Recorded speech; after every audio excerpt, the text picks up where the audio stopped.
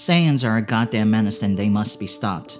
These space meatheads stroll around the galaxy, picking fights with the rest of the universe. By some good fortune, their population had dwindled considerably over the years, but the remaining few managed to rebuild their tribe of stunted adults and karate gis. Some view these muscle-bound cretins to be heroes, but that couldn't be farther from the truth. At most, they've accidentally done heroic things like taking out a space tyrant or killing a time-traveling cicada. But it's also undeniable that they were the ones who instigated these problems to begin with. If anything, they just clean up their own messes and we applaud them like a bunch of idiots. If you still think they're heroes for some reason, try telling that to all the geographers who work tirelessly to update the topographical charts every time these Saiyans obliterate mountains or blow a hole through the ocean floor.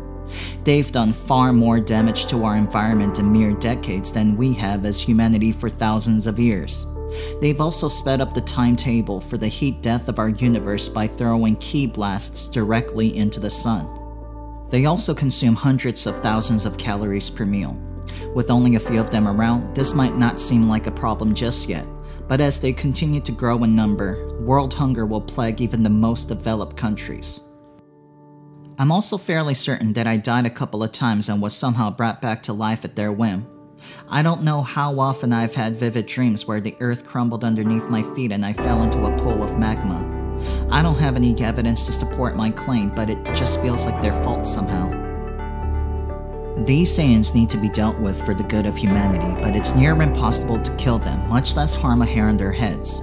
Even if we come close to killing one, they somehow get stronger and stronger like a giant cockroach that hits like a truck with the flick of their finger. They've also managed to befriend the gods, which brought the religious world to a screeching halt, but also what the hell? They're unkillable beings who also have the gods on their speed dial. Just how can we approach them with the gods on their side? Do they not know? Do the gods not know all the terrible deeds the Saiyans have inflicted upon the rest of us? Do they not care? Is this our punishment for all the sins we've committed? Are we just doomed to leaving our fate in the hands of man-children who decimate our crops and drive thousands of animals to extinction every day? What gives? Who do I... Who do I pray to when the gods don't listen? What's the point of existence?